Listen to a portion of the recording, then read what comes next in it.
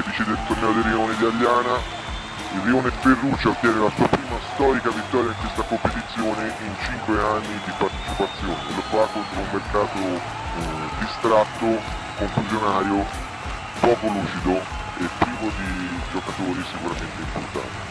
Andiamo alla cronaca della partita, fase di studio iniziali, mercato un po' contratto, agguerritissimi tutti i contrasti dei giocatori di Rione Ferruccia, gli effetti di tutto questo si vedono al sedicesimo quando per questo fallo di mano di Bartoletti il signor Slangers decreta un, un calcio di rigore trasformato da Lorenzo Nicolai.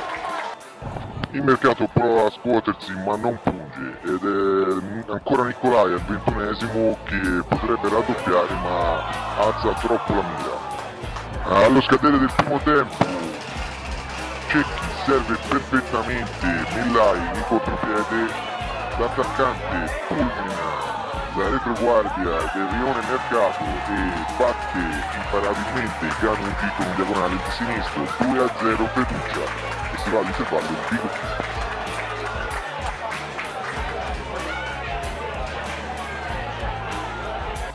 Ripresa mister Bartolini corre subito ai ripari e inserisce Perna eh, in centro del campo al posto di uno spetto Zarrini.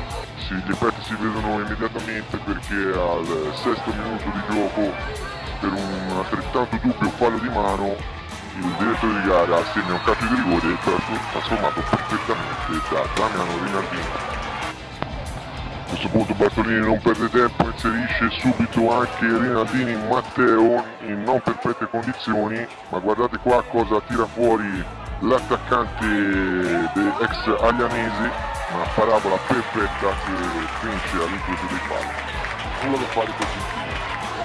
In tribuna si pensa già di assistere adesso a una goleata del Rione Mercato, quando invece la Ferruccia riesce immediatamente a reagire grazie ai suoi due uomini chiave. Cecchi vola via sulla fascia sinistra e serve il suo secondo assist per la corrente Nicolai che con un tempismo perfetto arriva e il piatto destro mette in rete.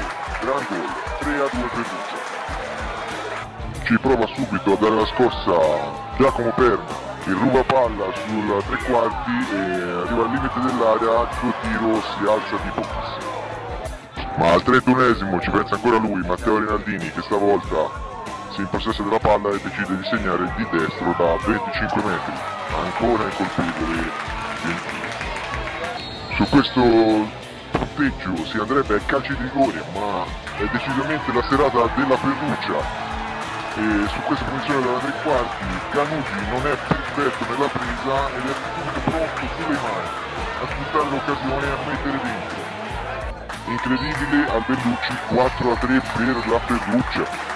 È il 35 del secondo tempo da lì in poi non succede più niente e i ragazzi di mister Nicolai possono risultare per il loro primo storico successo